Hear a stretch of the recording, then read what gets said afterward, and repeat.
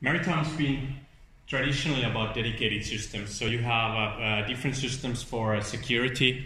Uh, you have a different systems for your operational communication, what basically shipping companies needs to run their business. There's a systems for for a crew crew internet, and, and, and and so on. And actually, that doesn't difference from the other industries.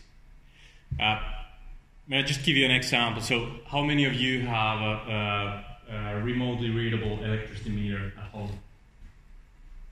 At least we have.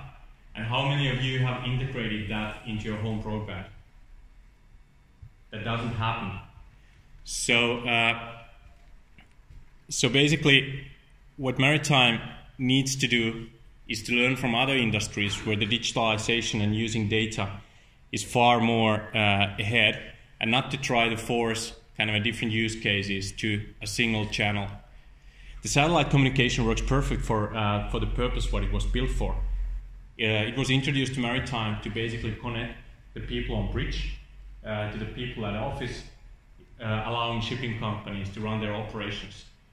It wasn't designed uh, to connect all the millions of devices sailing on board of the vessels. And if you think that the uh, that you basically put together uh, crew internet usage and your navigation system to the same communication channel, that's basically creating a ticking time bomb.